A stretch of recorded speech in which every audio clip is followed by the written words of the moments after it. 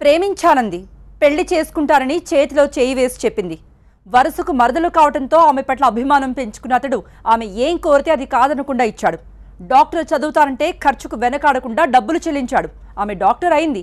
కానీ ఇప్పుడు పెళ్ళికి నో అంటోంది. నన్ను మర్చిపోయి వేరొకరిని పెళ్ళి చేసుకోమని చెప్తోంది. ఆమె సమాధానంతో అతడు షాక్ అయ్యాడు. అతడికి ఏం చేయాలో అర్థం కాలేదు. చివరకు పోలీసుల్ని ఆశ్రయించాడు. ఇదిగో ఇతన్ని చూడండి. ఇతని పేరు మద్దిశెట్టి వెంకటేశ్వరరావు. పశ్చిమ గోదావరి జిల్లా ఆకివీడి మండలం కుప్పనపూడికి చెందిన ఇతను ప్రైవేట్ కంపెనీలో ఉద్యోగం చేస్తున్నాడు. వెంకటేశ్వరరావుకి లావణ్య అనే యువతి మరదల వరుస అవుతుంది. లావణ్య ప్రస్తుతం విశాఖపట్నంలో ఉంటుంది. ఓ ప్రైవేట్ డెంటల్ ఆసుపత్రిలో డాక్టర్గా పనిచేస్తోంది. లావణ్య ప్రేమించానని పెళ్ళి చేసుకుంటానని వెంకటేశ్వరరావుతో చెప్పింది. వీరి పెళ్ళికి లావణ్య తల్లిదండ్రులు కూడా ఒప్పుకున్నారు. డెంటల్ సర్జన్ చేస్తానని చదువు పూర్తయిన తర్వాత పెళ్ళి చేసుకుందామంటూ వెంకటేశ్వరరావుతో చెప్పింది. దీన్ని అతగాడు పూర్తిగా నమ్మేశాడు. లావణ్య ఎప్పుడు అడిగితే అప్పుడు డబ్బులు ఇచ్చేవాడు. ఏది కావాలంటే అది కొనిచ్చేవాడు. మొత్తం ఆమె కోసం పన్నెండు లక్షల వరకు ఖర్చు పెట్టాడు. లావణ్య డెంటల్ సర్జన్ అయింది. కానీ రెండేళ్ళు గడిచినా పెళ్ళి మాట ఎత్తడం లేదు. పెళ్ళి విషయం ఎత్తితే మాట దాటేసేది. చివరికి నిలదీయడంతో నువ్వంటే నాకు ఇష్టం లేదంటూ బాంబు లాంటి వార్త చెప్పింది. హలో మాది పశ్చిమ గోదావరి జిల్లా ఆకిడి మండలం కుప్పనపోడి.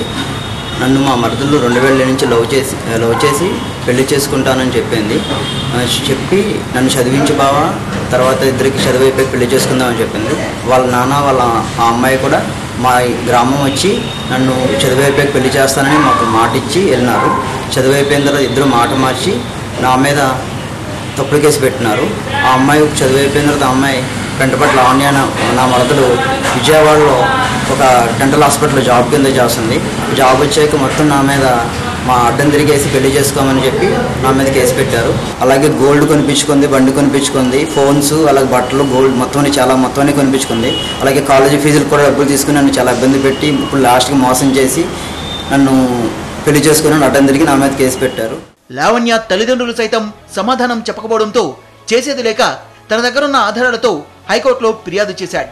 కోర్టు ఆదేశాలతో ఆకివీడు పోలీసులు కేసు నమోదు చేశారు.